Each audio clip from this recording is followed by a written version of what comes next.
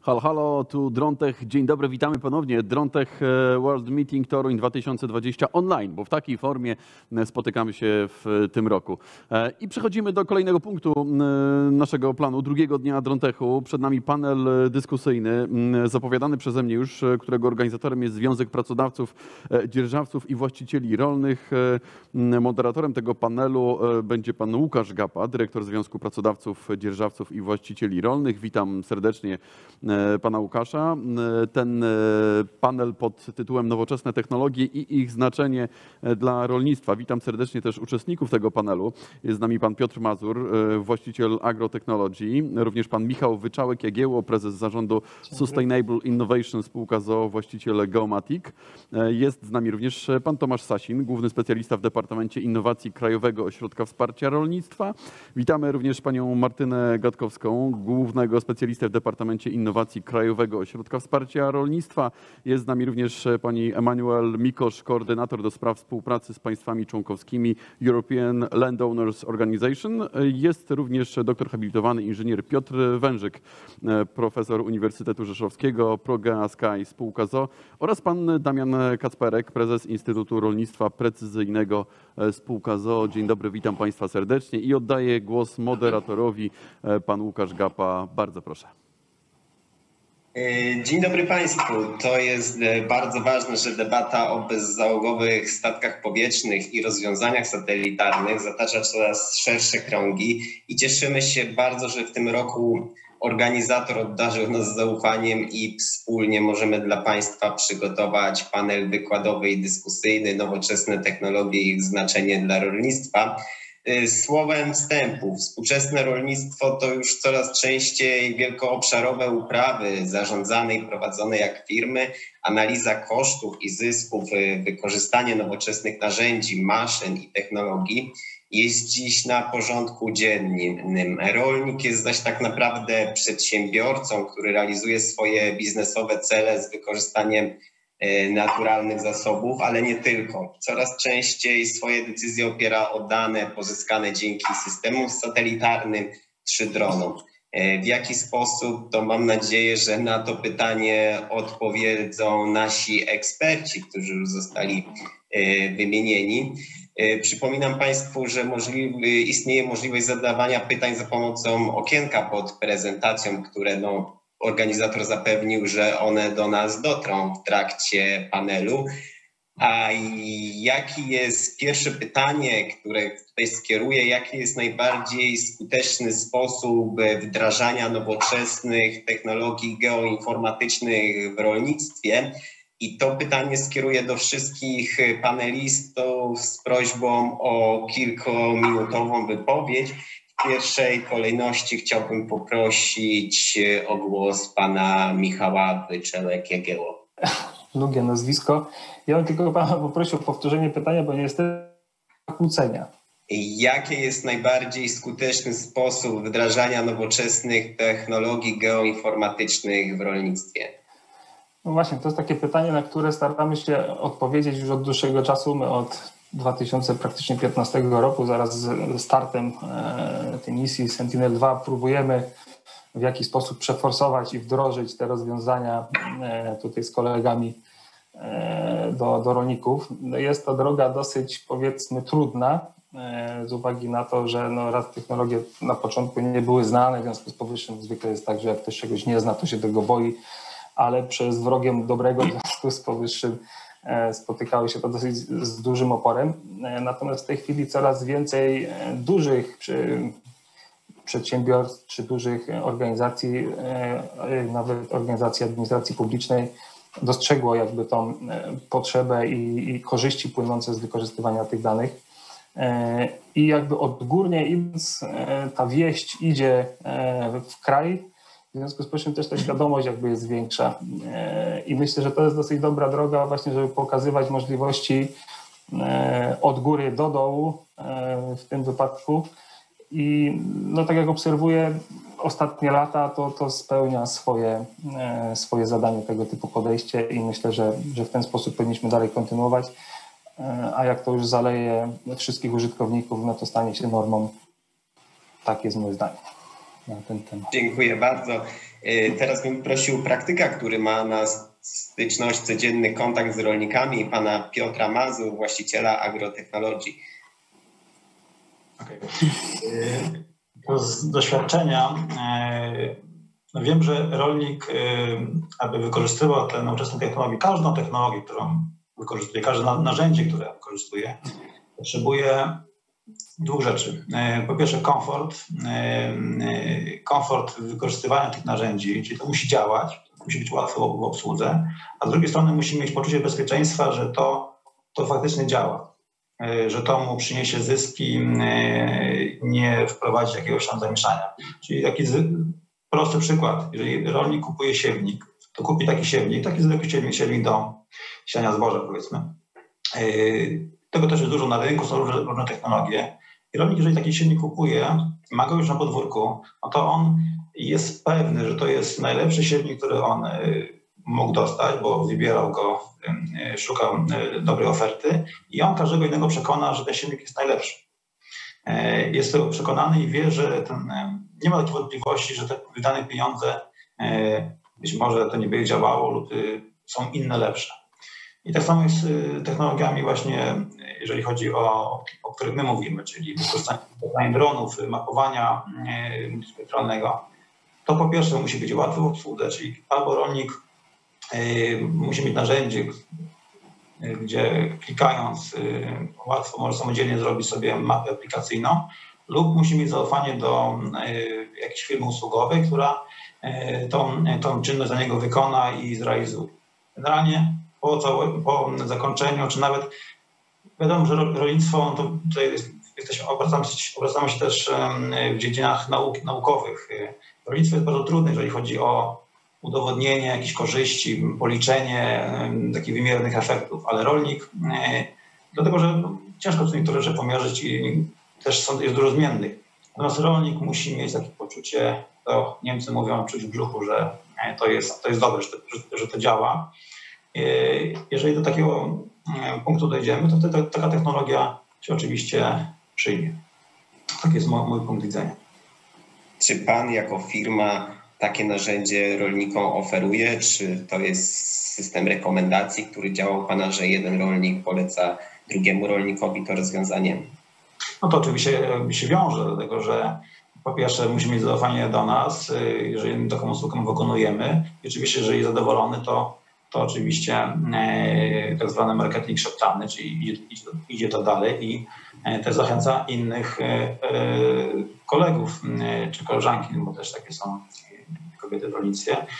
I tak to działa, ale generalnie chodzi faktycznie o takie poczucie bezpieczeństwa i sam rolnik, no, nasz klient musi być ambasadorem naszej technologii. Jeżeli tego się nie uda, no to jednorazowo mu sprzedamy jakąś usługę, ale już więcej tego nie sprzedamy ani jemu, ani, ani komuś z jego sąsiadów, bo oczywiście pytają się o takie rekomendacje kto w okolicy tych technologii korzysta i jakie ma, ma z tego teoretycznie efekty, takie, takie efekty, które go skłaniają, żeby z tych technologii korzystać.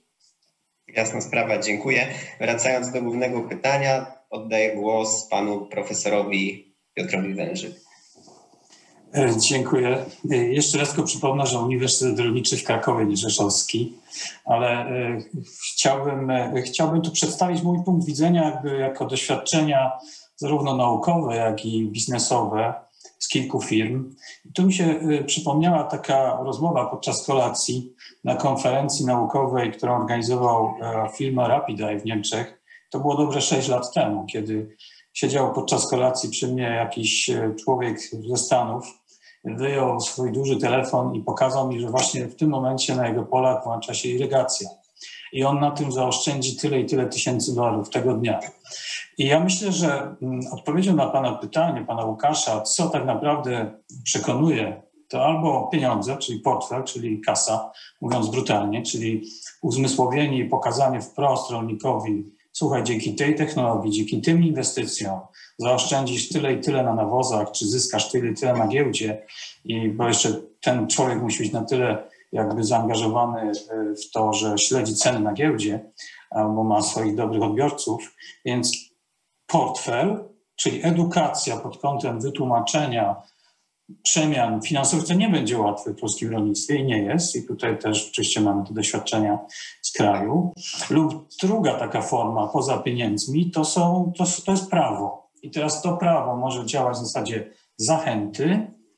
E, słuchajcie, przejdźcie na ten system, bo dzięki temu będzie łatwiej, przyjemniej i bezpieczniej albo system kar, tak? czyli po prostu no, e, europejska polityka rolni, rolna, którą mamy od lat, jestem członkiem Unii Europejskiej, może już zapomnieliśmy, ale wywarła no, niesamowity wpływ na to, w jaki sposób rolnicy gospodarują i za co pieniądze dostają. Tyle tylko, że przez lata te systemy satelitarne, poza bardzo wysokorozdzielczymi rzędu poniżej metra, nie były w zasadzie uznawane przez nikogo i w pewnym momencie, a też mam takie doświadczenie, niestety nie zawsze dobre, dużymi agencjami w Polsce, w pewnym momencie były jakby odrzucane, ale następnego dnia były przyjmowane, ponieważ taki był nakaz albo pismo z Komisji Europejskiej. Więc ja powiem tak, no nie jest to, spodziewałem się trudnych pytań, to jest chyba jedno z trudniejszych podczas tego panelu. Ja nie znam wprost drogi, to trzeba kombinować, albo zachęcać finansowo i oferować technologię uzmysławiać, albo po prostu sterować tutaj prawem, żeby to miało swoje skutki pozytywne dla wszystkich. Dziękuję. Panie profesorze, to teraz może jeszcze zapytam trochę z innej strony. Czy pan e, w ramach uczelni, którą reprezentuje, dysponujecie takimi raportami, badaniami pokazującymi, jakie to faktycznie ma korzyści ekonomiczne odnoszące się do wykorzystania danego rozwiązania technologii? Ja nie mam bezpośrednio takiej informacji, bo też może nie wprost jest to moja e, działka naukowa. Dopiero jak wybudujemy takie centrum, nazwijmy go środowiska, centrum e, precyzyjnego środowiska, więc ja działam na Uniwersytecie Rolniczym, ale nie jestem rolnikiem, ale oczywiście biorę udział w wielu projektach i rozmawiamy. I, i, i też rozmawiam z rolnikami. I, ja myślę, że takich raportów wprost nie ma, bo z jednej strony są producenci nawozów, którzy chcą je sprzedać, e, są producenci maszyn, którzy chcą je sprzedać. Wszyscy chcą coś sprzedać. My chcemy również, też reprezentuję różne firmy, chcemy też sprzedać zdjęcia i produkty.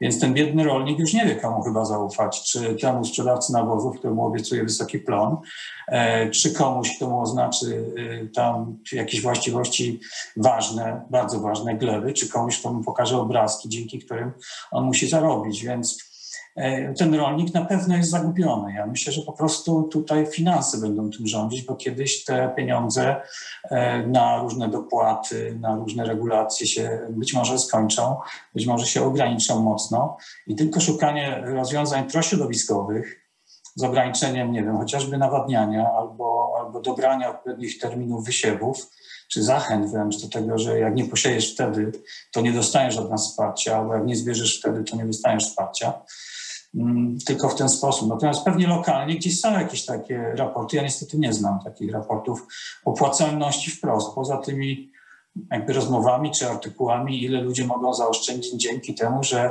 mają kompletną usługę, która jest komercyjna, bazuje na e, bezpłatnych lub komercyjnych zobrazowaniach satelitarnych, dronowych, badaniach gleby i, I po prostu to się dzieje gdzieś z tyłu. On wie, ile musi zapłacić za hektar, x euro za hektar, ale wie, ile dzięki temu zaoszczędzi na nawozach.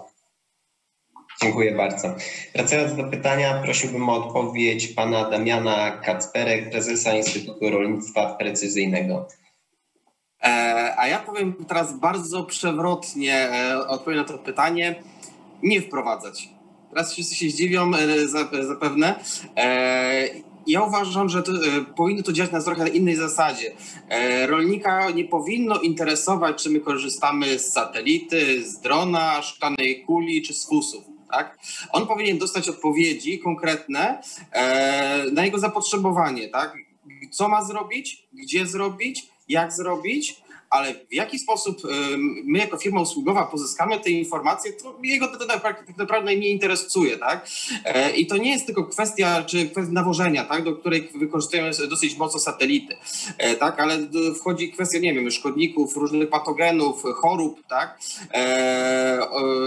E, no, tych rozwiązań, które możemy w czasie sezonu całego e, doradzać rolnikowi, co on powinien zrobić, w jakim momencie, jest bardzo dużo. A ładna mapka pokazująca, panie, tu masz ładniejsze pole, tu masz trochę gorsze, no to klienta w tej chwili nie przekonuje, bo takich jest rzeczy dużo, a dla niego to jest trudne do zinterpretowania bez fachowej wiedzy. Tak? Więc uważam, że tutaj powinno się zmienić troszeczkę nasze podejście, no i właśnie my próbujemy coś takiego zrobić. Bardzo biznesowe podejście. Dziękuję za odpowiedź i to właśnie takich rozwiązań oczekują rolnicy, czyli gotowych, które w jakiś sposób e, usprawniłyby ich życie e, i biznesy. E, teraz poprosiłbym panią Emanuelę Mikosz o odpowiedź, ale tutaj no, ze względu, że pani Emanuela nie jest ekspertem, sformułuję trochę inaczej pytanie, czy organizację europejską, która reprezentuje, popiera takie działanie i bierze udział w sieciowaniu środowisk y, w celu wytworzenia właśnie takich rozwiązań. Dziękuję za pytanie. Bardzo się cieszę, że mogę brać udział e, w tym panelu dyskusyjnym. E, I w mojej odpowiedzi raczej przychylę się do tego, o czym mówił już profesor Wężyk, to znaczy e, z, pewnością, żeby wdrażać, mówić o sieciowaniu i o dzieleniu się doświadczeniami na poziomie europejskim, musi być do tego odpowiedni reżim prawny. To, to, to jest podstawa w ogóle w nawiązywaniu też współpracy między różnymi organizacjami. ELO jest organizacją, która reprezentuje na przykład Związek e, w Bydgoszczy e, i to są organizacje, które przynależą do nas na zasadzie dobrowolności, nie ma obowiązku przynależności do ELO. I to nam daje też możliwość naprawdę wspierania różnych współprac publiczno-prywatnych też. E, sądzę, że to jest bardzo ważne, żeby tutaj o, o, o tym wspomnieć. E, mamy w samym tym panelu dyskusyjnym osoby reprezentujące różne instytucje, firmy prywatne, e, związki. I, I, warto wspomnieć o tym, że od strony właśnie europejskiej istnieje bardzo dużo różnych możliwości, choćby w horyzoncie 2020, który teraz jest kolejnym otwartym naborem e, I, i, i szczerze zachęcam do tego, żeby tworzyć konsorcja i żeby występować wspólnie po prostu o pieniądze, które, no, którymi dysponuje Unia Europejska. E, Zielony Europejski Ład, który teraz jest dyskutowany bardzo szeroko, daje również możliwości właśnie takie, żeby wykorzystywać na innowacje, e, na precyzyjne rolnictwo i dopasowywać do potrzeb czy, czy regionalnych, czy różnych firm, czy właśnie w rolnictwie konkretnych rozwiązań. Więc z pewnością ta współpraca jest też rzeczą, która jest bardzo ważną. Jest oczywiście w Polsce również krajowy punkt kontaktowy Horyzontu 2020, więc warto o tym też tutaj wspomnieć, jeżeli ktoś z Państwa jest tym zainteresowany. E, to pozwala budować zaufanie, bo przy sieciowaniu, przy współpracy zaufanie jest podstawową, e, jest, jest podstawą takiej działalności. E, bez tego nikt nie będzie wsłuchiwał się w dobre praktyki, nikt nie będzie szukał e, rozwiązań, które istnieją już w innych krajach europejskich. Z pewnością oczywiście analiza ekonomiczna i portfel to to, co przemawia za wybraniem e, jak najlepszych rozwiązań. To też o tym wszyscy Państwo już wspominaliście wcześniej. Ale sądzę, że również to, co jest bardzo ważne i o czym Komisja Europejska teraz ostatnio coraz bardziej wspomina, to oczywiście potrzeba dostępu do szkoleń wykorzystywania e, wiedzy, bo, bo co z tego, że rolnikowi opowiada się różne rzeczy, jeżeli on jak gdyby, on też to musi zrozumieć, tak? I o tym też już Państwo wcześniej mówiliście. Rekomendacje jak najbardziej i sądzę, że e, również jak gdyby firmy prywatne, które będą musiały dostosowywać swoje produkty do, do, do, do, do e, wymagań również formułowanych przez prawodawstwo europejskie, czyli w szczególności jakości gleby, nawadniania, wszystkich kwestii związanych z bioróżnorodnością. No i jak gdyby rolnik też nie będzie może miał tutaj więcej do wyboru, tylko po prostu będzie musiał e, do pewnych rozwiązań się dostosować.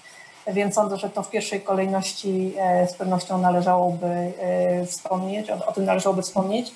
A jak, jeżeli są Państwo potem zainteresowani w, w, kolejnej rundzie konkretnymi przykładami, na przykład innych programów, w których ELO jest zaangażowany, to z przyjemnością o tym wspomnę przy kolejnej rundzie pytań. E, dziękuję bardzo. E, ja jako przedstawiciela resortu rolnictwa, odnosząc się do portalu Geoserwis Susza oraz systemu satelitarnego monitorowania upraw rolnych, poproszę e, panią Martynę i pana Tomasza o krótkie podsumowanie.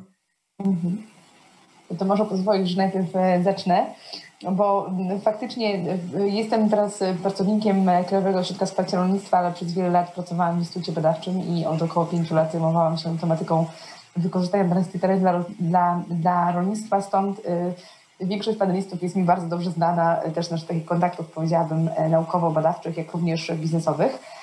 I teraz tak naprawdę mm, to, co przyszło mi do głowy, kiedy, kiedy pan Łukasz zadał pytanie odnośnie wdrożenia technologii, to tak naprawdę przyszło mi do głowy pytanie, które rolnicy powinni sobie w pierwszej kolejności zadać, czyli po co ja właściwie, jaki jest cel tego, że ja wdrażam tę technologię. I teraz w momencie, kiedy na to pytanie, czyli dlaczego, jaki jest cel tego, że ja wdrażam taką nową technologię, jest to, bo muszę, bo wynika to właśnie, tak jak mówili moi przed, przedmówcy, mm, zmienia się prawo, zmieniają się pewne, pewne regulacje, e, na rolników wymuszane są nowe działania, nowe, nowe aktywności, które nierzadko są e, właśnie są, są, są jakby wymuszane na nich wdrażanie nowej technologii, no to wówczas e, Tutaj najlepsze byłoby podejście takie totalnie systemowe, czyli pewnych wymagań na rolników i wtedy oni faktycznie mogą trochę tak za za rękę czyli z takim wsparciem właśnie systemowym, między innymi takim, jaki oferuje Cover, czy będzie oferował w przyszłości takie, takie rozwiązania wdrażać. Ale oczywiście coraz częściej rolnik mówi, bo chce.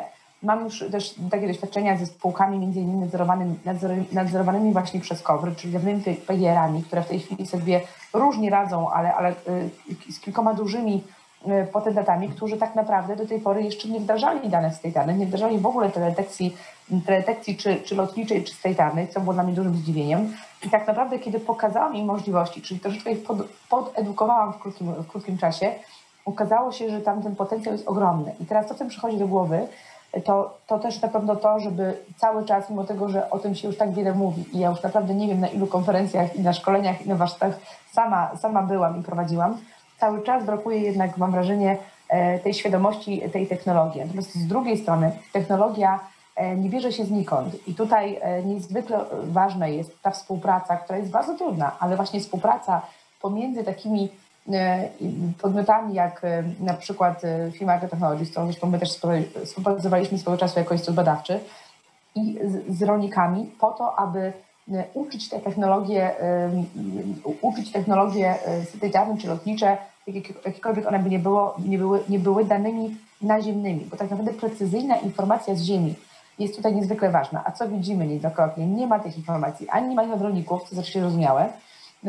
bo nie chcą się tymi danymi dzielić, ale po drugie na przykład mapy glebowe też wymagają udoskonalenia aktualizacji, stąd te modele nigdy nie będą, pytał Pan o, o dokładność modeli, nigdy nie będą dokładne, dopóki nie, nie nauczymy dokładnymi danymi. Ale podsumowując, bo tak zwanie do brzegu powinnam, powinnam podsumować, a, a się rozbiegam. Także mm, myślę, że y, podejście systemowe, czyli to, co próbuje realizować KOWR, poprzez taki na przykład geoserwis. Jeżeli te, te, teraz taki geoserwis, czyli szacowanie suszy, w tym roku oczywiście jest tego dla administracji, natomiast gdyby można było taki na przykład geoserwis uruchomić również dla rolników, żeby oni również mogli e, swoje pola zobaczyć, zmonitorować, być może ukróciłoby to e, pewne, dla jednych rolników ukróciłoby to działania takie, gdzie oni próbują oszukać państwo, ale z drugiej strony mogłyby również pomóc im wskazać obszary, które być może z różnych względów podlegają pewnym, pewnemu niebezpieczeństwu. Natomiast niewątpliwie aplikacje webowe, mobilne, czyli przy, przeniesienie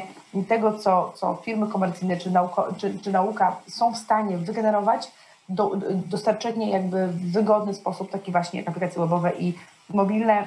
1500 uczestników e, szkoleń, które prowadziłam, e, niejednokrotnie nie miało żadnego do czynienia wcześniej z arami i stwierdzają, że narzędzie, które dostarczyliśmy jest jest intuicyjne, jest wygodne i jest krokiem milowym dla, dla ich pracy. Więc y, myślę, że u rolników na zupełnie innej formie, na zupełnie innej skali, ale może mieć to podobne przełożenie. Dzięki bardzo. Dziękuję bardzo za odpowiedź. Pani Martyna już po części odpowiedziała na moje drugie pytanie, o. które chciałem skierować w drugiej rundzie, właśnie dotyczące, dlaczego właśnie to odbiorca końcowy, tutaj mam na myśli producent rolny, nie jest gotowy, bo rozumiem z tego, co wynikało, jest zainteresowany, ale no, wdrożenie technologii geoinformatycznych jednak dziś jest ta bariera, która jest ciężko bardzo do przejścia. I z mojej strony teraz jest takie no tutaj kluczowe, jak usunąć utrudnienia, zwiększyć podaż na tego typu usługi. Chciałbym również poznać e, opinię pozostałych naszych ekspertów i tutaj bym zaczął od, e, chyba że masz jeszcze e, Martyno coś do dodania. Nie, nie, czyli jako tym pytaniem też chętnie powiem, natomiast myślę, że, że zostawię... Chciałbym zacząć tak, od praktyka znowu pana Piotra.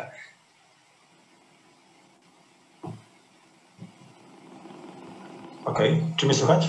Tak, tak, słychać dobrze. Okej, okay, bo tutaj miałem problemy. Yy, dlaczego, dlaczego rolnik tego nie, producent rolny tego nie wprowadza? Yy, wydaje mi się, że nie ma problemu z tym, żeby yy, rolnik raczej potrafi, no to oczywiście nie każdy, ale rolnik, który jest przedsiębiorcą rolnym, biznesmenem, można do niego dotrzeć poprzez liczby i pokazywać mu, pokazać mu efekty, które może osiągnąć poprzez wdrożenie tych technologii. I to jest do zrobienia. Oczywiście jest to nasz jakiś margines błędu. Czasami rolnik powie, że no okej, okay, super technologia, ale jak nie ma deszczu, no to i tak wszystko nic z tego nie będzie. No to oczywiście odpowiadamy, że jeszcze takie, takie technologii, żeby zapewnić opady we właściwych, właściwy rozkład opadów, jeszcze takiej technologii nie mamy. Natomiast my zachęcamy, żeby rolnik skorzystał, zrobił to, co może najlepiej w danej sytuacji pogodowej, czy danej sytuacji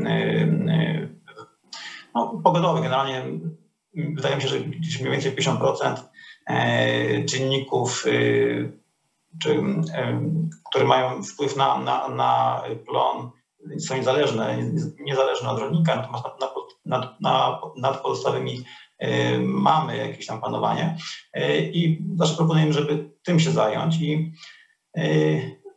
problem, który ja widzę wśród naszych klientów, to oczywiście no, wymaga to jednak, nawet jeżeli korzysta z usług firmy zewnętrznej, outsourcing, tak, tak na przykład jak my świadczymy takie usługi, no jednak wymaga to od niego takiego zaangażowania mentalnego, no musi wiedzieć, że okej, okay, na przykład sieje, sieje nawóz, ale musi pamiętać, żeby dzień wcześniej, czy tam dwa dni wcześniej poprosić nas o, o mapy aplikacyjne na dany składnik, ewentualnie jakieś dane, jakieś mapy.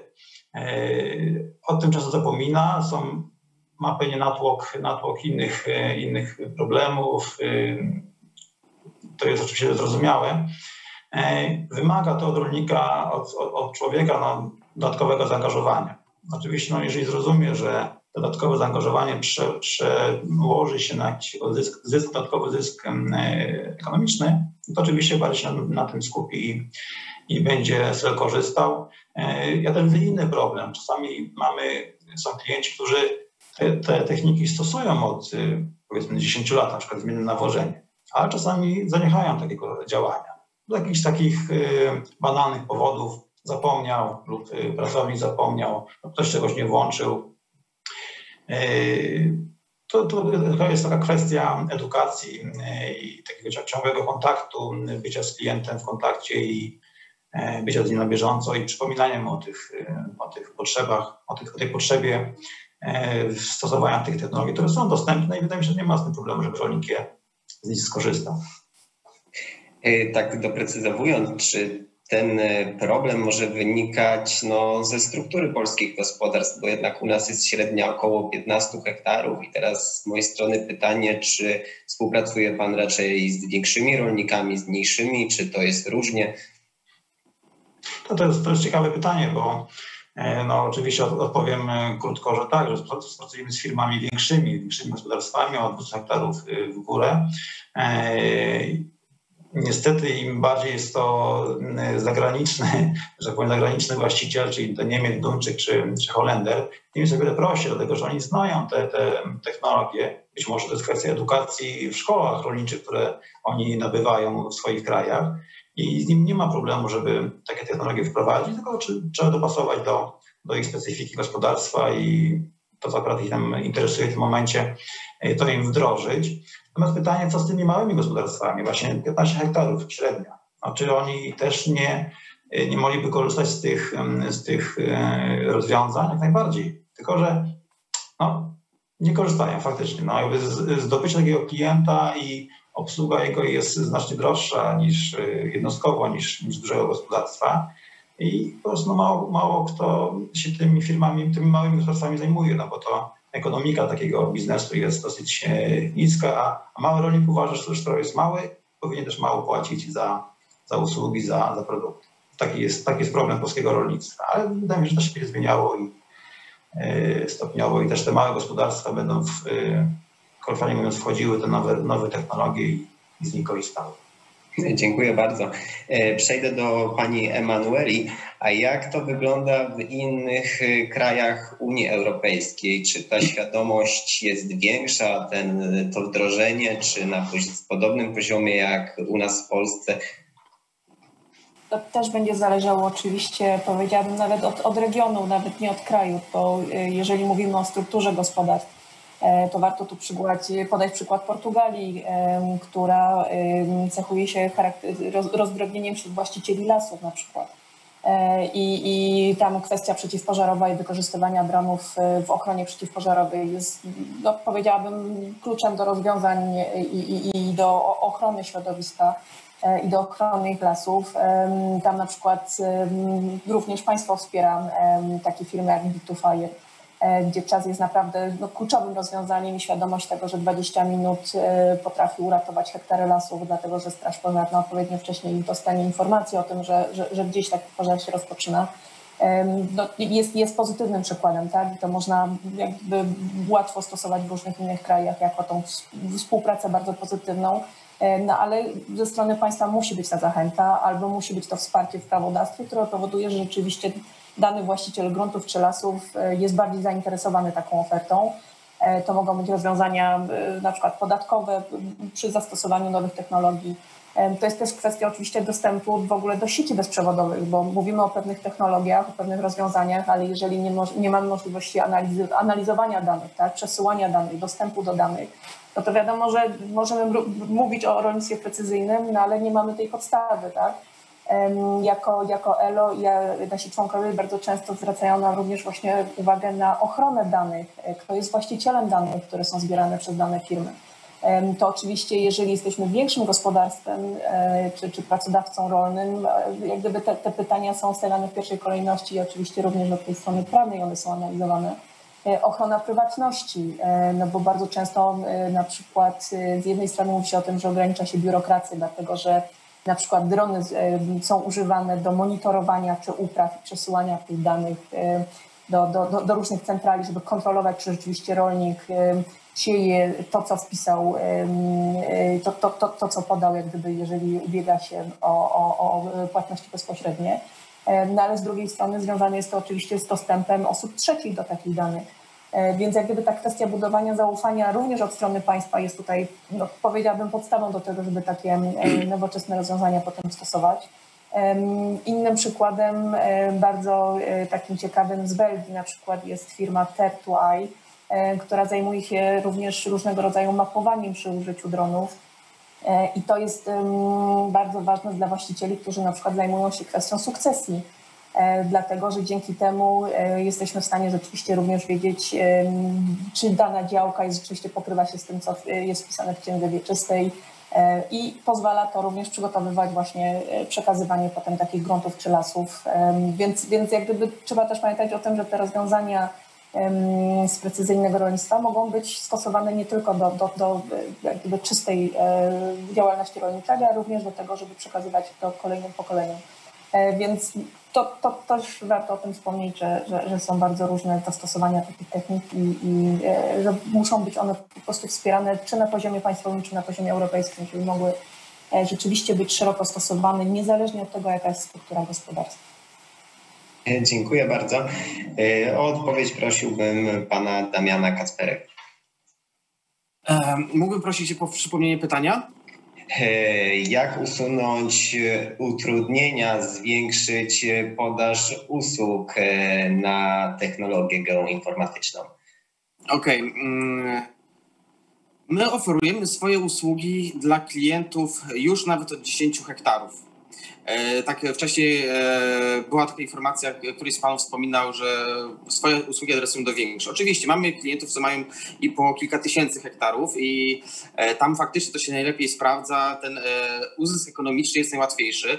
Staramy się docierać do tych także małych i pokazać, nawet zazwyczaj to nie jest ekonomiczne uzasadnienie przynajmniej dla nas, ale staramy się pokazać, że to działa i ma to przyszłość, żeby ten marketing szeptany działa najlepiej. Tak, żadne reklamy, że, że, jeśli rolnik nie będzie do tego przekonany, jeśli nie przekona się na jakichś rzeczach relatywnie prostych i łatwych, tak, typu, nie wiem, szkody łowieckie, tak, czy tematy ubezpieczenia od, od, od wymarznięć, tak, gdzie drony czy satelity się świetnie do tego tematu sprawdzają, żeby te odszkodowania były odpowiednie, wiarygodne, to już są takie pierwsze kroki, do których ten klient może się przekonać, że daje mu to realną korzyść. I wtedy z czasem może robić kolejne kroki i stopniowo wdrażać kolejne elementy tej teledetekcji, tego rolnictwa precyzyjnego w swoim gospodarstwie, bo że praktycznie żadne gospodarstwo od razu nie, nie robi wszystkiego. Musi się do pewnych rzeczy przekonać, zwłaszcza jak właśnie nie ma tej wiedzy, nie ma tego doświadczenia, nie, nie, tej edukacji nie pobrał w, w szkole czy, czy, czy, z życia, tak? E, I tymi małymi krokami możemy go przekonywać i jak on widzi tę korzyść, to on będzie, e, będzie sam z tego korzystał i zachwalał u sąsiadów, e, a jak będą jeszcze dodatkowe wsparcie właśnie w sposób, sposób ekonomiczny, systemowy, no to tym to już w ogóle będzie dużo, dużo łatwiejsze, ale już w tej chwili e, obserwujemy, że ta korzyść jest, e, już odbieramy telefony od mniejszych czy większych gospodarstw rolnych, tak chcemy to wdrażać, e, pomóżcie nam z tym. Tak? I e, metody, które gospodarstwa rolne stosowały jeszcze 10-15 lat temu, przestają działać. Rolnicy szukają roz, nowych rozwiązań, żeby te plony były, tak? No i rolnictwo precyzyjne, czy, no jest odpowiedzią na kwestię, nie wiem, biologizacji ziemi, na zmniejszenie kosztów produkcji, tak? Żeby te plony były, tak jak mieliśmy 15-20 lat temu, przy niższych kosztach i wyższej jakości zbiorów. Dziękuję bardzo za odpowiedź. E, teraz poprosiłbym o odpowiedź pana profesora Piotra Wężyk. E, w jaki sposób to środowisko naukowe próbuje usunąć te bariery i edukować rolników?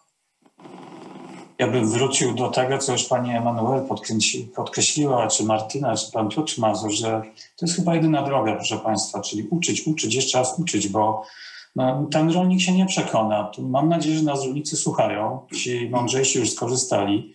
E, ci, którzy nie mieli takiej szansy, może nie mieli tej ufności, albo też nie, e, nie mieli takich kursów w szkole i tu się trzeba uderzyć w piersi po prostu i powiedzieć co jasno, myśmy nie mieli ani takich kursów wcześniej, ani nikt nas tego nie uczył, bo mnie nikt nie uczył. Ja nie miałem kursów z zakresu geoinformacji, GIS-u, fotogrametrii, dronów. Ja dzisiaj tego nauczam, ale też wszystko nasz wysiłek naukowy, żeby to opanować, być w czołówce nie tylko krajowej i, i próbować e, to wdrażać. Więc tu trzeba zacząć już od szkół. I tak jak dzisiaj GIS widzę z zakresu systemów informacji geograficznej jest już uczony na poziomie geografii w klasach szóstych chyba, a może nawet niżej, bo ja mam starsze dzieci, to nie wiem, ale y, to, to, to zaczyna postępować. Dzisiaj był wspaniały referat, jak dzieciaki na jakichś półkoloniach zaczynają dotykać dronów i nimi latać. No, no więc to jest kapitalna droga, że, że ten rolnik już nie tylko kupi e, swojemu synowi na pierwszą komunię drona, ale może już pomyśli, czekaj, może ci kupię drona z kamerą wielospektralną, prawda? Bo, bo, bo gdzieś przeczytał, bo, bo ktoś mi powiedział, i, a ty byś mi tutaj po południu coś tu naleciał, a ja ci kupię jeszcze baterię jedną.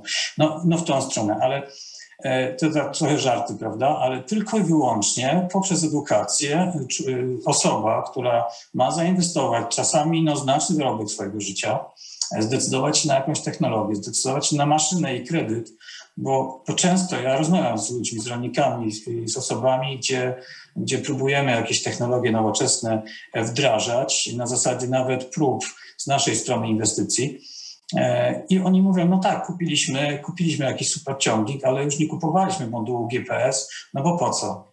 Nie dość, że drogi, to jeszcze nie wiemy, do czego nam się ma przydać, tak? Chociaż nas ktoś przekonywał, ale dodatkowe ileś tam kilkadziesiąt tysięcy złotych. Brakuje tu pewnych ogniw i więc od szkoły podstawowej w zasadzie, przez szkoły, które gdzieś tam pewnie padły po drodze albo się podnoszą w tej chwili, takie specyficzne szkoły, które uczą rolników, później oczywiście uczelnie wyższe, no i, i tu mam pewną dobrą wiadomość wreszcie w tej mojej wypowiedzi. Mianowicie biorę udział jako wykonawca, ale też Martyna tu jest jako jeden z autorów. Przygotowaliśmy dla, w ramach projektu South for Envy dla Polskiej Agencji Kosmicznej e, no, cały szereg kursów, kursów e-learningowych. Jednym z ważnych, e, z ważnych tam modułów jest rolnictwo.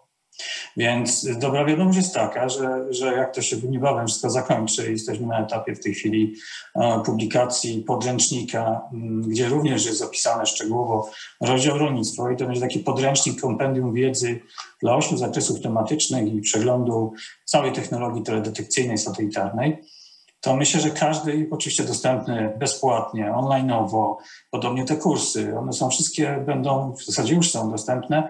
Rolnik, jak wykaże pewną determinację w okresie zimowym, kiedy ma mniej może do pracy, to będzie się mógł sam certyfikować w tym zakresie. Jest to pytanie, jak dalej zachęcać i, i, i jak tutaj zbudować pewną piramidę zachęt i, i usług. I uważam, że tych małych rolników, poniżej 15 hektarów, tak to nazwijmy, albo grubo poniżej, a tacy są, trzeba po prostu objąć działaniami e, rządu, działaniami jakby e, pieniędzy publicznych. To znaczy tutaj nikt z nas nie zarobi, różne mamy tutaj firmy, prezentujemy, ale po prostu nikt z nas tam nie jest w stanie zarobić, no bo ten rolnik koniec końców powie, ale przecież ja mam drona, synowi kupiłem, on mi tutaj naleci i widzę te e, dziury tam w zbożu i to wiatr albo, albo dziki, ja nie potrzebuję nic więcej.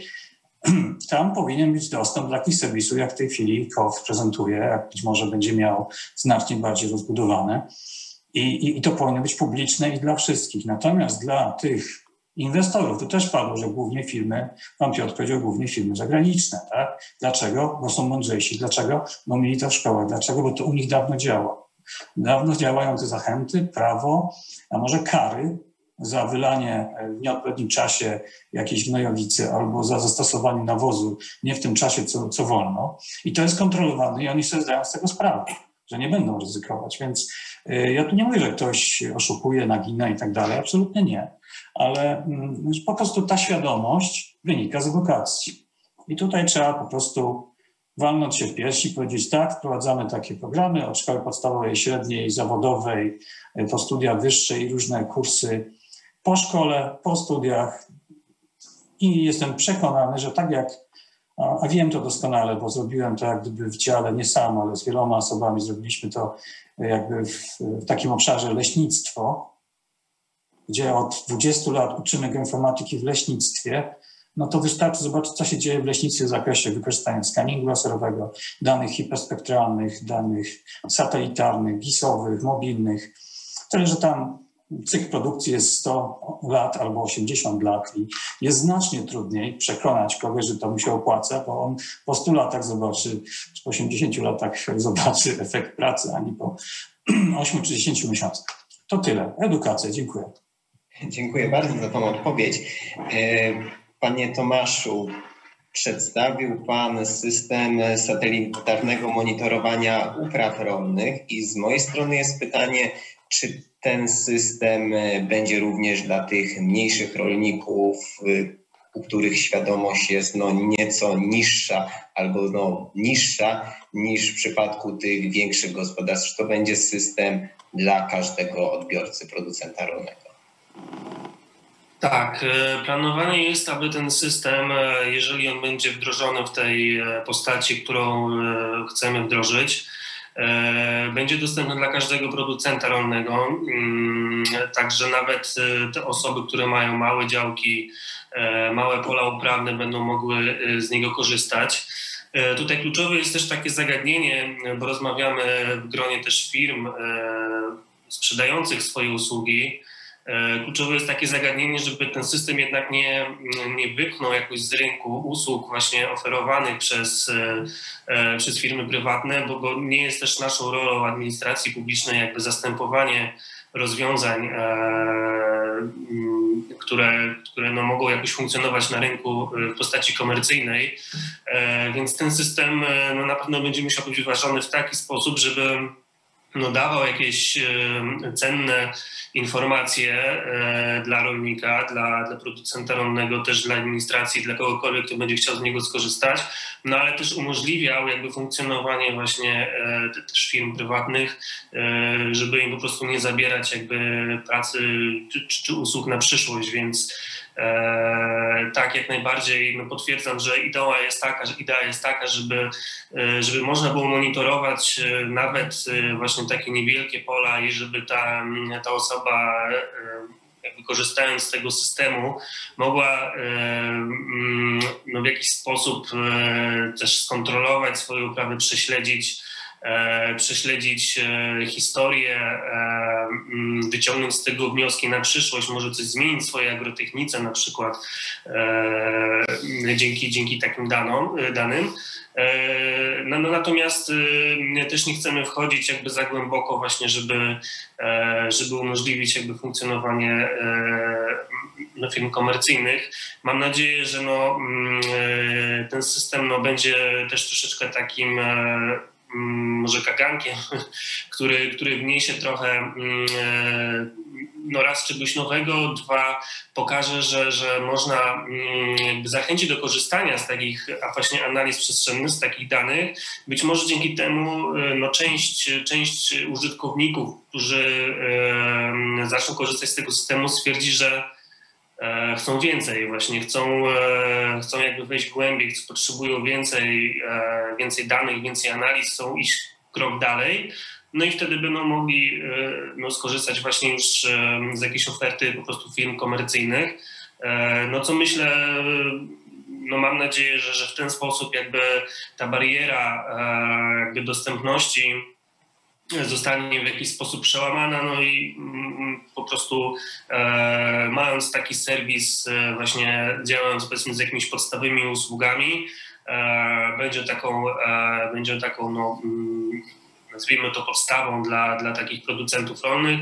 Każdy później chętny będzie mógł po prostu e, czy inwestować w sprzęt własny, nie wiem, drony, czy korzystać z usług już e, jakichś e, e, wystandaryzowanych, oferowanych przez firmy, więc no wiem, że na to troszeczkę trzeba będzie jeszcze poczekać, jeżeli chodzi o, o ten nasz projekt. No natomiast no, wszystko idzie w tym kierunku, żeby, żeby to się zadziało, w tym sensie, że te dane są coraz bardziej dostępne, one tanieją też, więc no myślę, że, że też po prostu czas działa na naszą korzyść, w tym sensie, że, że tak jak powiedziałem, no dostępność tych usług powinna być coraz większa, coraz tańsza, więc powinna też, uważam, trafiać do coraz szerszej grupy klientów, rolników. E, dziękuję. A jeśli słuchają nas rolnicy, to e, kiedy i gdzie znajdą ten portal? E, no kiedy? No, w 2024, więc to jest jeszcze, jeszcze trochę czasu. Mm, ten czas jest podyktowany tym, że mm, no, będą przeprowadzane też badania terenowe, jakby korygujące, mm, uczące w zasadzie E, system, e, który opierać się będzie na, na uczeniu maszynowym i, i no, takich algorytmach samouczących się. Potrzebujemy więc kilku sezonów wegetacyjnych, żeby, no, żeby potwierdzić te wyniki, które otrzymywane z tego systemu, że, że jakby są prawidłowe, stąd też, e, stąd też mm, taki trzyletni założony okres minimalny trwania tego projektu. Właśnie głównie chodzi o te, o te badania in situ terenowe. Gdzie on będzie dostępny? No, będzie dostępny przez internet, y, w jakiej formule? To jest jeszcze wszystko do, do ustalenia, ale, ale generalnie idea jest taka też, żeby mm, producenci rolni, którzy już posiadają na przykład konto w Agencji Restrukturyzacji i Modernizacji Rolnictwa, jednym kliknięciem mogli korzystać właśnie i z takiego systemu i, i, i żeby mieli po prostu wszystkie swoje dane w, w jednym miejscu. Więc e, no, mamy nadzieję, że to będzie wszystko zintegrowane, spięte razem e, i w ten, w ten sposób oferowane dla, dla producenta rolnego. E, a czy na tym poziomie takim pilotażowym będą Państwo współpracować z jakąś grupą rolników, żeby uzyskać ten feedback bezpośrednio od producenta i porównać go z tymi danymi, które gdzieś tam Państwo zbadają, zdefiniują? Yy, tak, znaczy yy, szczęście jest takie, szczęście, yy, fakt jest taki, że, KOWI jest też nadzorcą spółek, czyli tak jak Martyna wspomniała, dawnych obszarów PGR-ów, które, które są rozrzucone na terenie Polski. No głównie, głównie są to tereny powiedzmy takie zachodnie, północne, więc jeżeli chodzi o, o tę część Polski, powiedzmy południowo-wschodnią, musielibyśmy skorzystać z, właśnie z pomocy prawdopodobnie rolników czy indywidualnych, czy, czy jakichś większych gospodarstw. Natomiast no mamy, mamy ponad 60 tysięcy hektarów dostępnych do, no właśnie do takich analiz, więc tutaj e, już działamy z tymi spółkami, które gospodarują na tych, e, na tych obszarach e, w celu zbierania danych. To na pewno będą nasze pola testowe. Plus, tak jak powiedziałem, myślę, że uda się nawiązać jeszcze współpracę z, z producentami rolnymi w tych obszarach, w, tym, w obszarach polskich, w których jakby nie mamy, nie mamy swoich pól, ale będziemy mogli skorzystać e, z, właśnie z takich terenów, e, no, które uprawia ktoś inny. Dziękuję bardzo za odpowiedź i w ramach podsumowania tej tury pytań poprosiłbym pana Michała o wypowiedź. Dziękuję za głos. No co, co mogę dodać? Na pewno zgodzę się z tym, że edukacja, wiedza, szkolenie to jest e, coś, bez czego nie jesteśmy w stanie E, wygrać z tym tematem, ale no tak jak tutaj pan profesor Wężyk czy inni przedmówcy wspomnieli, no idzie to w tym kierunku, więc to jest jakaś nadzieja, e, że to się dzieje. Ja się też cieszę bardzo, że KOWR na przykład e, podejmuje jakieś kroki takie wprowadza rozwiązania, no tutaj jakąś małą cegiełkę przyłożyłem też powiedzmy do tego systemu suszowego, E, ale to, o czym mówił wcześniej Damian i co też uważam jest bardzo ważne, bo e, przez szereg lat my jako powiedzmy naukowcy, badacze, przedsiębiorcy, jakkolwiek do którejkolwiek grupy by się nie przypisać, e, cieszyliśmy się z tego, że są jakieś wyniki, są ładne mapy. Tutaj jedna taka, która za panem Piotrem w tle mapa jakaś tutaj NDVI, wskaźnika czy innego widnieje, że jest fajnie, widać jakieś zróżnicowanie i my się powiedzmy już cieszyliśmy z tego, że to widać, Natomiast ten rolnik nie za bardzo wiedział, co z tym zrobić. I to, co jest istotne, z czym się zgadzam z Damianem e, i chyba wszyscy Państwo się zgodzicie, jakby ten user experience e, znany z aplikacji wszelakich, to jest rzecz kluczowa, czyli teraz mamy takie czasy, że się bierze, że się mm, dostęp jest łatwy do, do, do wszystkich aplikacji, nie trzeba myśleć, tak, wszystko jest podane na tacy e, i troszeczkę tak mi się wydaje klient, którym w tym przypadku jest rolnik, też oczekuje takich rozwiązań, żeby on nie musiał się nad tym zastanawiać, on chce dostać po prostu produkt, tak e, wspomnieliśmy wcześniej, nieważne czy to było zrobione na oko, z satelity, czy jakkolwiek inaczej, grunt, że jest wynik i że ten wynik jest wiarygodny. E, no my w tej aplikacji suszowej sobie też taki punkt honoru postawiliśmy, jak to zrobić, żeby to było ładne, proste i intuicyjne, żeby jakby no ktoś, kto jest urzędnikiem, nie ma żadnego pojęcia o całej tej tematyce, E, wziął to narzędzie i po prostu potrafił z niego skorzystać. Bo tutaj serce rośnie, jak Martyna mówi, że e, na tych 1500 urzędników e, przeszkolonych no feedback jest, jest pozytywny. Tutaj na bieżąco jesteśmy w kontakcie. I, i, czyli jakiś tam efekt udało nam się osiągnąć i myślę, że to jest droga tutaj nas, dostawców tych usług, żeby w tym kierunku iść, żeby te rozwiązania maksymalnie upraszczać, dawać rolnikowi już konkretne rozwiązania, wiarygodne, co jest najważniejsze, więc też dobrze, że jak tutaj pan Tomasz wspominał, i niestety, trochę stety, ale ten aspekt y, oczekiwania i aspekt badawczy, weryfikacji, no też niestety jest, jest potrzebny, więc cierpliwie czekać, aby na końcu te rozwiązania były e, właśnie takie, o których mówiłem. Dziękuję bardzo za odpowiedź. E, kolejne z moich pytań to, czy dane z bezzałogowych statków powietrznych są lepsze od danych lotniczych lub satelitarnych? Oczywiście to pytanie można zadać odwrotnie, czy dane satelitarne e, są lepsze od właśnie danych z bezzałogowych statków powietrznych. I tutaj w pierwszej kolejności skieruję pytanie do pani Martyny Gatkowskiej i czy zasadny jest kierunek obrany przez administrację państwową w tym właśnie aspekcie? No nie, znaczy moje doświadczenia przede wszystkim, należy powiedzieć, że moje doświadczenia polegają przede wszystkim na kosztach transtytarnych. E, z danymi z dronów miałam dużo mniej doświadczeń w swojej, w swojej pracy zawodowej. Natomiast myślę, że nie należy mówić, czy są lepsze, czy gorsze, natomiast należy mówić, kiedy są wobec siebie komplementarne. Zdecydowanie w mojej opinii te dane mają charakter komplementarny. Pamiętam jeszcze takie czasy, kiedy drony były, mogły nieść tylko bardzo lekkie kamery, więc nie miały możliwości pozyskiwania danych na takim poziomie, jak to pozyskują dane satelitarne. Teraz ta technologia rozwinęła się tak niesamowicie, słyszeliśmy dzisiaj i wczoraj o tych nowych technologiach, więc tutaj w tym aspekcie porównywania rozdzielczości spektralnej, czyli ilości informacji, jaką można wyczytać z danych danych dronów, właściwie już nie ma co porównywać, bo bo dane są porównywalne, więc w tym, w tym aspekcie niewątpliwie e, tego porównania e, na żadną ze stron nie można, szali na, na żadną ze stron nie można przechylić. Niewątpliwie dane stejtarne e, to, to, co też już wspominali moi przedmówcy, to możliwość pokrycia obszaru całego kraju w bardzo krótkim czasie. Można powiedzieć, że niezależnie od operatora, my tylko czekamy na kolejne dane. Oczywiście tutaj zawsze za nami zupełnie inaczej, aczkolwiek też dzisiaj słyszałam taką prelekcję właśnie kolegów, E, wcześniej przede mną, którzy, ta, ta, ta, to puszczenie na odległość też jest ogromnym przełomem. Natomiast myślę, że raczej trzeba szukać e, tej spójności. Niewątpliwie dane stejtarne, ta rozdzielczość jest wciąż do pewnych, e, przestrzenna, do pewnych rozwiązań jest wciąż zbyt mała i tutaj ten, te drony niewątpliwie pełnią ogromną rolę w tym obszarze, więc zdecydowanie szukajmy komplementarności pomiędzy tymi danymi. Są takie miejsca, E, są takie, e, takie, e, takie, takie zjawiska, które będą wymagały użycia dronów, a są takie, do których dane stejtarne będą nam w zupełności wystarczające, więc raczej szłabym w kierunku mm, tego, tego współużywania tych dwóch, tych dwóch narzędzi i nie przechylania szali na żadną ze stron. Dziękuję bardzo.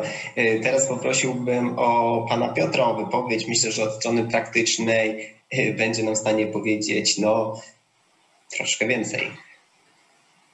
Okay, no myślę, że takie pytanie można było też zadać, e, czy pomiar e, temperatury naszego ciała termometrem rtęciowym jest, jest lepszy niż taki pomiar temperatury e, termometrem bezprzewodowym, czyli tym pirometrem. Która metoda jest lepsza? No to coś podobnego, podobnie można było dywagować, jeżeli chodzi o, o te dane z drona czy, czy z satelity. Z technicznego punktu widzenia, czy może z praktycznego, jeżeli chodzi o dane multispektralne, oczywiście przyszłością jest, y, są serwisy satelitarne i to, to jest wiadomo od dawna, tylko że pokrycie i dostępność tych map będzie znacznie lepsza. A jedynie problem to jest taki, żeby te dane faktycznie móc, móc rolnik mógł skorzystać w sposób łatwy i, i przystępny i oczywiście niedrogi. E, I to ma sens, bo tam rozdzielczość nie jest taka e, wymagana, wysoka.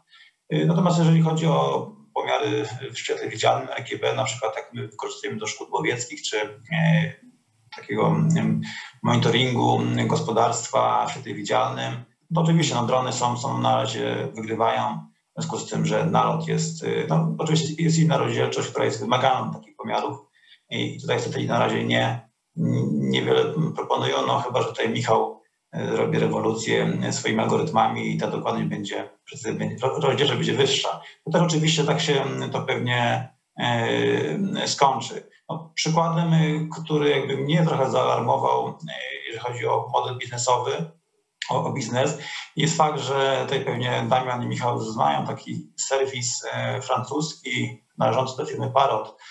To był taki serwis, który działa na takiej zasadzie, że można było tam uploadować dane multispektralne z własnego drona albo z firmy usługowej i on robił fajną robotę, bo faktycznie dostarczał gotowych aplikacji do nawożenia, że chodzi o tam nawożenie, nawożenie rzepaku czy, czy pszenicy.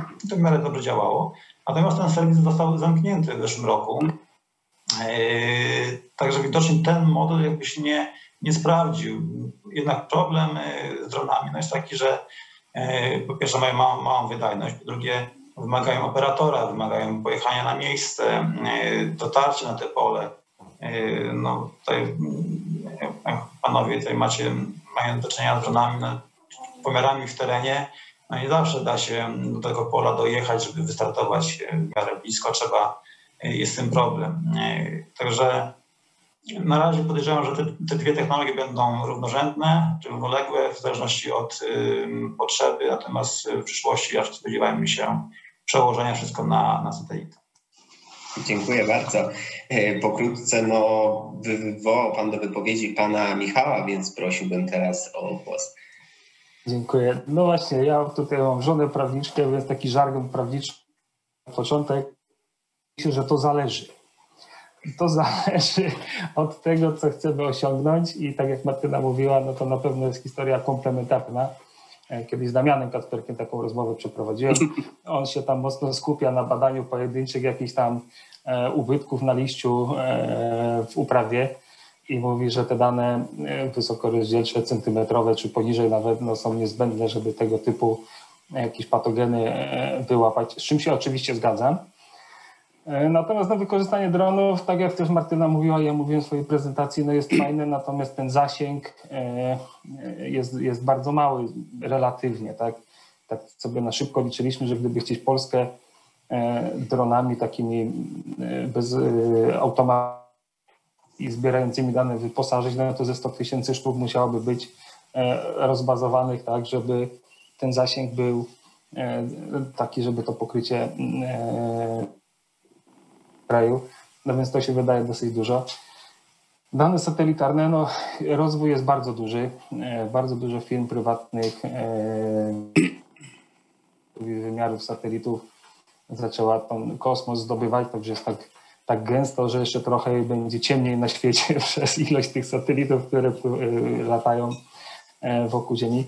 E, także tych danych jest coraz więcej, te dane są coraz tańsze i dostępność jest coraz większa. No ten wpływ, taki o którym też mówiłem, chmur na przykład, no jest coraz mniejszy, bo jeżeli satelita w ciągu dnia przeleci pierwszy, e, no to jest coraz większa szansa, że jakieś tam zdjęcie uda mu się uzyskać. E, też trzeba pamiętać, że nie zawsze lepsze dane są w każdej sytuacji tak samo przydatne. No nieraz się zdarzało, że my w jakichś pracach badawczych E, pobieraliśmy dane z samolotu w rozdzielczości 5 cm, po czym musieliśmy redukować rozdzielczość do 3-4 metrów, żeby móc uzyskać jakieś tam parametry, które chcieliśmy e, finalnie osiągnąć. Także e, tak jak Martyna mówiła, podsumowując, są to dane komplementarne i wydaje mi się ani od jednej, ani od drugiej technologii nie da się uciec. One się po prostu muszą uzupełniać. Dziękuję bardzo. No tak jak słychać, zdania e, są e, bardzo podzielone i ta szala raz jest w jedną, raz w drugą stronę e, przeważana. Ja bym poprosił o wypowiedź pana Damiana, gdyby słuchał właśnie pana rolnik i miał pan wytłumaczyć, do czego i jakie dane są potrzebne, w jaki sposób pan to wyjaśnił. No to jest dobre pytanie. Ja może w inny sposób jeszcze taką anegdotą zacznę. Kiedyś z Martyną byliśmy na targach e, i w ramach tych targów jeden z rolników uzyskał od nas. Bardzo się ucieszył, przyszedł do nas, wyciągnął Nokia 330 i mówi, no dobra kochani, to co z tym zrobimy teraz? Także mam takie wrażenie, że tutaj znowu e, ten aspekt edukacyjny jest potrzebny, ponieważ dla nas pewne rzeczy są oczywiste, dla użytkowników końcowych, jakim są rolnicy. Oczywiście ten przekrój jest, jest szeroki i są tacy, którzy bardzo e, którzy są bardzo mm, e, rozwinięci i, i, i, mają wiedzę na temat możliwości i wykorzystania tych danych, ale są też tacy, dla których w ogóle temat satelity to jest jakiś taki abstrakcyjny temat, więc jakby już samym problemem jest przekroczenie jakby tej bariery wejścia tutaj w tłumaczenie, co jest potrzebne, tak? Bo no może kanał Rededge wykorzystamy sobie do analizy e, wczesnego wykrywania jakichś patogenów, natomiast e, tu już tyle haseł jakby na dzień dobry jest niezrozumiałych, e, że dalsza, dalsza próba tłumaczenia może okazać się problematyczna. Troszkę, tak mówię o tym humorystycznie, troszeczkę to jest jednak prawda, Dlatego, żeby tak wprost odpowiedzieć na Pana pytanie, no nie wiem, wydaje mi się, że raczej powinniśmy iść w stronę tutaj, o której mówił Damian, nie za bardzo skupiać się na, na tym, co my tam chcemy i dlaczego użyć, a raczej co to da, w jaki sposób e, przyniesie to rolnikowi korzyść e, i jak on może z tego skorzystać. Dziękuję bardzo. Panie Damianie, a jakie dane częściej wykorzystuje Instytut Rolnictwa Precyzyjnego? Jakie dane? Wszystkie dane. E, generalnie no, w zależności e, co potrzebujemy zrobić, no dopasowujemy narzędzie do pracy. Takie, jakiś czas temu e, w radiu słyszeliśmy taką reklamę, jak pani chciała kupić dwa kilo mięsa i pani próbuje to ukroić piłą mechaniczną, tak? No tu, tu podobnie, stosujemy narzędzie do zadania. W pewnych sytuacjach satelita jest rewelacyjny i stosujemy to bardzo szeroko i coraz szerzej, a w innych rzeczach no, drona satelita nie zastąpi ze względu na rozdzielczość, dostępność, e, wykorzystania. Jeszcze innych rzeczy nie zastąpimy, nie wiem, prób glebowych, tak? Czy, e, czy pułapek na owady, czy nawet z, z fizycznej wizyty na polu, tak, choćbyśmy nie wiadomo z jakiej technologii póki co stosowali, no są jakieś tam tematy robotów jeżdżących i tak dalej, ale jeszcze jest e, pieśń przyszłości, ale w tej chwili to są dane komplementarne i moim zdaniem jeszcze długo, długo będą i to nie kwestia kilku lat, tylko dziesięcioleci, zanim satelity staną się, chociaż będą pobliżu tego, co są w stanie e, drony latające czy jeżdżące dostarczyć, bo pamiętajmy, że rolnictwo to, to nie tylko rolnictwo wielkopowierzchniowe, jakieś zboża, kukurydza, ale to także warzywnictwo, sadownictwo, tak? I to nie tylko jest nawożenie. Bo o ile satelity do nawożenia tu jak najbardziej się y, dają radę, są, y, ta rozdzielczość niska, relatywnie rozdzielczość wystarcza, ale o tyle na przykład w sadownictwie, tak, identyfikacja chorób na sadach, tak, musimy wiedzieć, czy to jest y, to drzewo, czy drzewo trzy rzędy dalej, tak, i ma, ma jakiś problem. I, I tutaj ta precyzja dronów jest niezastąpiona i mówię, tutaj to, to te narzędzia się uzupełniają i tu się zgadzam właśnie z przedmówcami. I tutaj klienta nigdy nie będzie interesował, czy my korzystamy z jednego rozwiązania, czy z drugiego, jego liczy efekt. Tak samo jak mamy telefon komórkowy, nie interesuje, jak on działa, on ma działać. Tak? I tak rolnik do tego podchodzi z doświadczenia, że on chce wyniki, on chce wiedzieć, ile, jakiego zastosować nawozu i dlaczego, ale skąd mamy te dane, rzadko kiedy go to interesuje. W gruncie mu się to sprawdza. Dziękuję bardzo. E, w tej rundzie poprosiłbym o podsumowanie pana profesora Piotra Wężyka. E, więc Panie Łukaszu, ja myślę, że to jest pytanie z zakresu wyższości świąt Bożego Narodzenia nad świętami wielkanocnymi, żeby było nam łatwiej i weselej. Państwo moi poprzednicy powiedzieli w zasadzie wszystko. To znaczy tu nie ma decyzji, czy tą stronę, czy tą stronę. To się uzupełnia. Ale oczywiście dzisiaj możemy już mówić o pewnych nowych rozwiązaniach, które są wdrażane. One się nazywają HASP.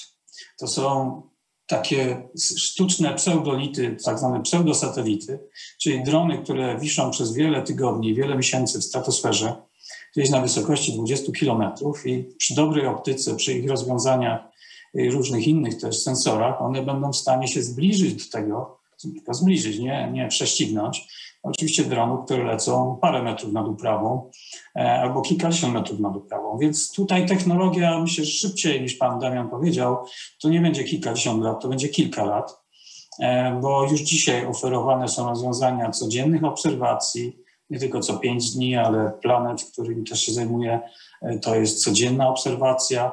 Za chwilę będzie kilka razy dziennie. Są zapowiadane nowe konstelacje wysokorozdzielcze kilkanaście razy dziennie przyszłym roku, za dwa lata, czy, czy inne, nie chcę tu używać nazw, kilkadziesiąt razy dziennie.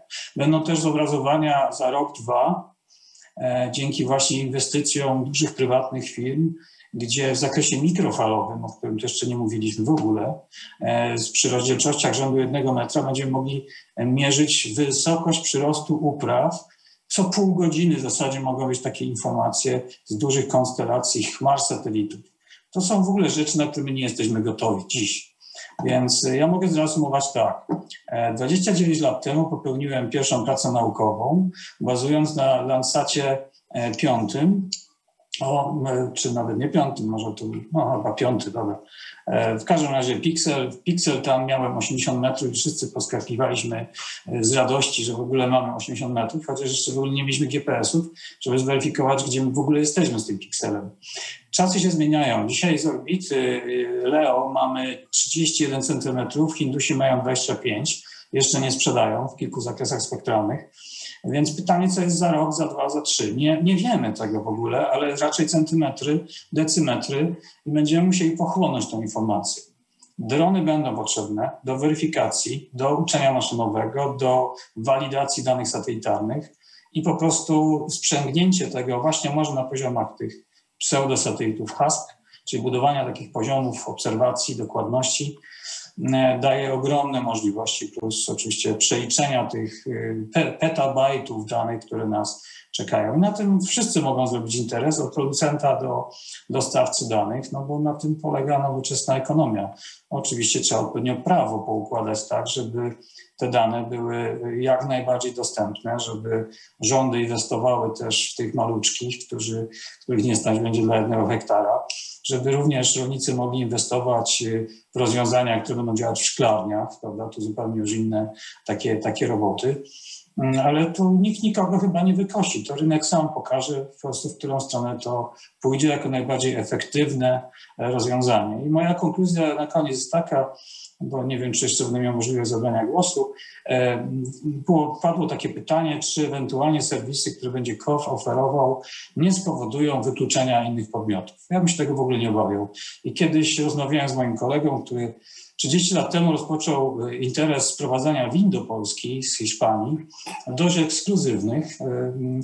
I ja go zapytałem, słuchaj, jak wy sobie w ogóle poradzicie teraz, skoro jest tyle dyskontów, które wasze wina oferują za kilkanaście złotych, a nie poniżej 10 złotych?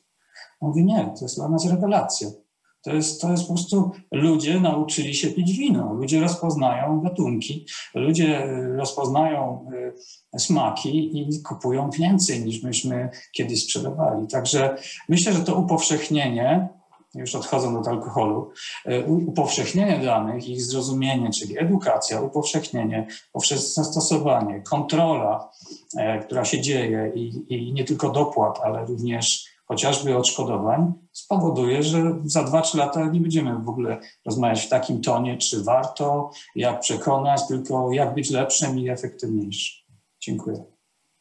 Dziękuję również Państwu. E, e, panu nasz czas jakby dobiega końca, bo wybija nam 15.50. E, krótko będę musiał podsumować. No, jedno jest pewne, cały czas kładliśmy nacisk na słowo edukacja i to jest chyba fundamentem jeszcze w tym obszarze technologii. I żyjemy w czasach galopującego postępu technologicznego, gdzie dominuje automatyzacja procesów, wykorzystanie zaawansowanych technologii i te zmiany również do gdzieś dotarły do rolnictwa i został zauważony potencjał. E, ja Państwu i rolnikom życzę, aby ten obszar technologii rozwijał się jak, jak najszybciej, a tymczasem oddaję głos do studia. Dziękuję.